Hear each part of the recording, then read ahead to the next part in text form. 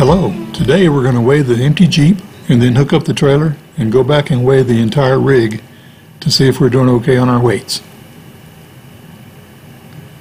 Alright, we're pulling onto the CAT scales to weigh the empty truck.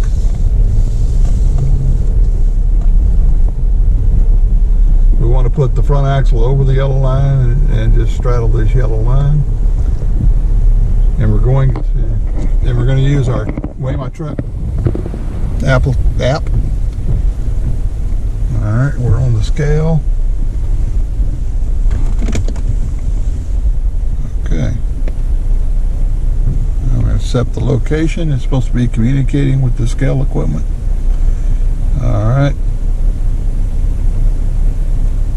Okay, we got to put some numbers in here. You just make up some numbers because we're not a tractor trailer unit.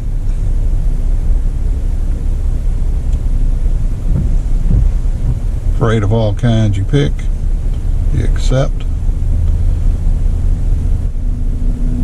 And I accept my fee.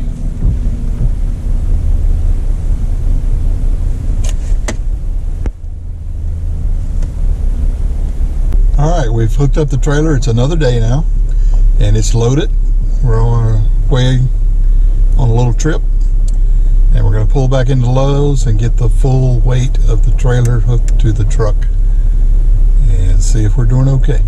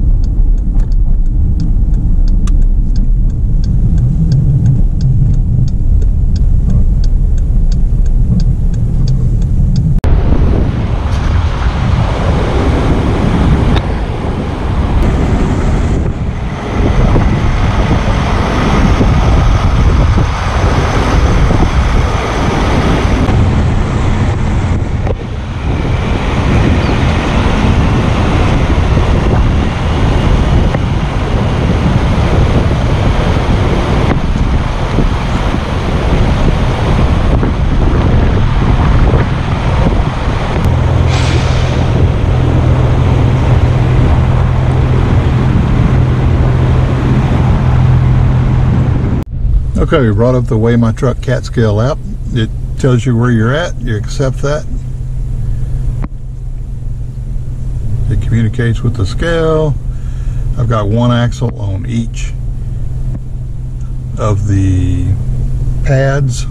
I put in my numbers. You just put in any kind of number you want there. And I click accept. And it's going to take the weight, or it's going to tell me what it's going to cost. There's the fee. I accept it.